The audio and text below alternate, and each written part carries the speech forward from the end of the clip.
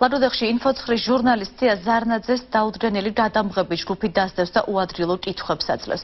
ვინმე თეონა, რომელსაც თან ტელეოპერატორი ახლდა დაინტერესდა, ვისი დაკვეთით მუშაობს ინფოცხრის ჯგუფი. თავადრი აცხადებს, რომ დამოუკიდებელი ჟურნალისტია და ჯგუფის საქმიანობის შესახებ ადროვებს ინფორმაციას.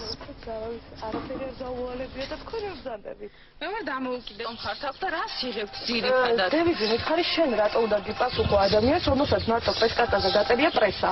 საზოგადოებრივი კი მაგით ვარ და მე რა საკეთებ ისე? კი ზუსტერესებს. სადად იხართ რა საკეთებს და რა თავისუფალი ჟურნალისტი, ეგერ გიწერია ინფოცხრი ჟურნალისტი, თქვენ ხო ყავს პროდიუსერი? მე ვარ დამოუკიდებელი ჟურნალისტი და რასაც მინდა იმას გადავიღებ. ბაგროვ თქვენზე ინფორმაციას მაინტერესებს. სადად იხართ რა საკეთებ? საზოგადოებრივი კი მაგით ვარ და მე რა საკეთებ ისე? კი ზუსტად მაინტერესებს. აი რა გიკვეთავ შენი პროდიუსერი რომ ის განმავლობაში გამოხვიდე და აბა ვის დაკვეთით მუშაობ? რატომ გაგდაკვეთაზე ესე ჩაბჟირება ვერ გავიგე ვინმე გითხრა რომ მე დაკვეთით მუშაობ? აა გეკითხები. არ მუშაობ, დაკვეთით თქო პასუხობ. დევნის ობიექტი გახდა ინფოცხრის ჯგუფი გუშინ ბოლნისის რაიონის სოფელ რაჭის უბანში, სადაც ქართული ოცნების ერთ-ერთი ლიდერის ზვედ ძიძიგურისა და ადრილობრივი მოსახლეობის შეხვედრა მიმდინარეობდა. ძიძიგურმა შეხვედრაზე ბოლნისის რაიონის მაჟორიტარობის კანდიდატი დარეჯან ჩხეტიანი წარადგინა. ვითარება მას შემდეგ დაიძაბა, რაც შეხვედრაზე ერთ წოდებული სააგენტო KK ინფოს ჯგუფი გამოჩნდა და ინფოცხრის ჟურნალისტის ნინო ციხელაშვილის მიმართ პროვოკაციული კითხვების დასმა დაიწყო. ზვედ ძიძიგურმა და შეხვედრის სხვა მონაწილეებმა KK ინფოს ჯგუფის ქმედებას პროვოკაცია უწოდეს.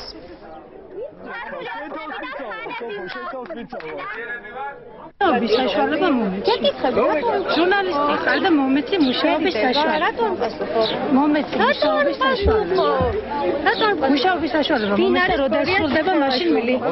ვინ არის გორია ციხალაშვილი? ჟურნალისტი კი არა ტერორისტები არიან. აი შეიძლება ესეთი რაღაც. აი ტერორისტები, ვინ გეთხოვნა? ხელისუფლება უკვე პირდაპირ უშლის ეს ასეთი ტიპის შეხვედრებს. მას აქვს შექმნილი რაღაც ორგანიზაცია, რომელიც არის თითქოს ჟურნალისტური ორგანიზაცია, მაგრამ ეს არის პროვოკატორულ ვაი ჟურნალისტური რაღაცა მცდელობა და ჩვენ დღევანდელ ფაქტებს მე ვფიქრობ, რომ თქვენგან მასალების მოწოდების პრობლემა არ იქნება. დღევანდელი პროვოკაციები, რომელიც იყო ამ სააგენტოს მხრიდან განხორციელებული, მიწოდებული იქნება როგორც დიპლომატიური корпуსის წარმომადგენლობასთან, ასევე საერთაშორისო სადამკვირვებლო ორგანიზაციებთან. ხალხს უნდა მოხდეს ამ ხელისუფლება არ შევანის საშუალება, არ იყოს ზეძოლა, დაშინება, იმიტომ რომ ეს ხელისუფლება საგმარის დროს მანძილზე ძალიან დიდი დაბერთა დაგიდოვა ამ ქვეყნისთვის